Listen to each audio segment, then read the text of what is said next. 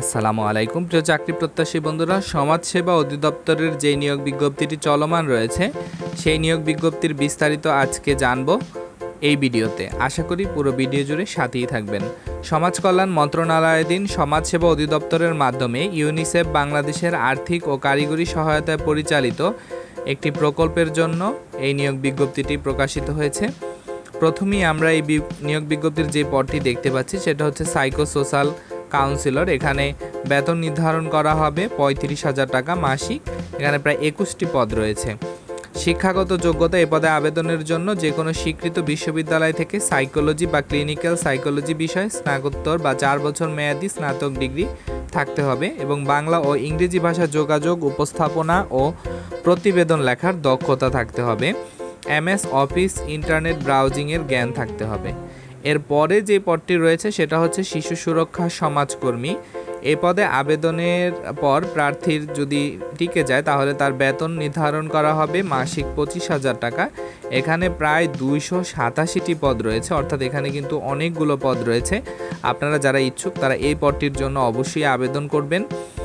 কোনো স্বীকৃত বিশ্ববিদ্যালয় থেকে যে কোনো বিষয়ে স্নাতক থাকলে আপনি এই পদের জন্য আবেদন করতে পারবেন। তবে সমাজকর্ম, সমাজবিজ্ঞান, সমাজ কল্যাণ বিষয়ে যাদের ডিগ্রি রয়েছে, তারা অগ্রাধিকার পাবেন। এছাড়া সকল বিষয় থেকেই কিন্তু এই পদের জন্য আবেদন করতে পারবেন। অর্থাৎ আপনি যে বিষয়ে অনার্স কমপ্লিট করেন না কেন, এ বিষয়, আপনি এই পদটির জন্য আবেদন করতে পারেন। এখানে প্রায় পঁচিশ হাজার টাকা বেতন নির্ধারণ করা হবে এবং পদও বেশি শিশু অধিকার সনদ, শিশু আইন এবং কমিউনিটি ভিত্তিক শিশু সুরক্ষা বিষয়ে বাস্তব অভিজ্ঞতা রাখতে পারেন। এছাড়া বাংলা ও ইংরেজি ভাষায় যোগাযোগ, উপস্থাপনা ও প্রতিবেদন লেখার দক্ষতা আপনার থাকতে হবে। তো সমাজসেবা অধিদপ্তরে নিয়োগের ক্ষেত্রে এই- পদের জন্য আপনার সর্বোচ্চ বয়স যদি পঁয়ত্রিশ বছর হয়, এসএসসি সনদ অনুযায়ী, তাহলে কিন্তু পঁয়ত্রিশ বছরের মধ্যে হলে আপনি আবেদন করতে পারবেন। নির্ধারিত সময়ের পর কোনো আবেদন গ্রহণ করবে না কর্তৃপক্ষ। এখানে যেটা বলা হয়েছে, আবেদনের জন্য প্রথমে আপনারা চলে যাবেন CSPB dot Teletalk dot com dot BD ওয়েবসাইটে আবেদন ফর্ম পূরণের শেষ তারিখ হচ্ছে দশই অক্টোবর দুই হাজার বাইশ বিকেল দুঃখিত, তেইশে অক্টোবর। তেইশে অক্টোবর দুই হাজার বাইশ বিকেল পাঁচটায়। তো উক্ত সময়ের মধ্যে আপনি যখন আবেদনটা সম্পন্ন করে ফেলবেন অনলাইনে, আবেদন করার পরবর্তীতে বাহাত্তর ঘণ্টার মধ্যে আপনাকে এস এম এস এর মাধ্যমে ফি প্রদান করতে হবে।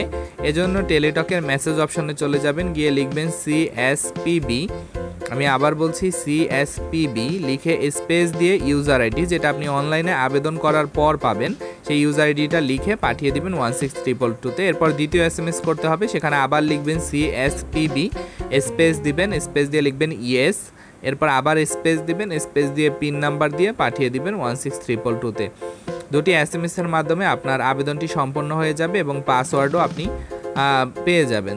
তো এভাবে খুব সহজেই আপনারা নিজের আবেদনটি নিজেরা করতে পারেন। ধন্যবাদ এতক্ষণ ধরে সাথে থাকার জন্য।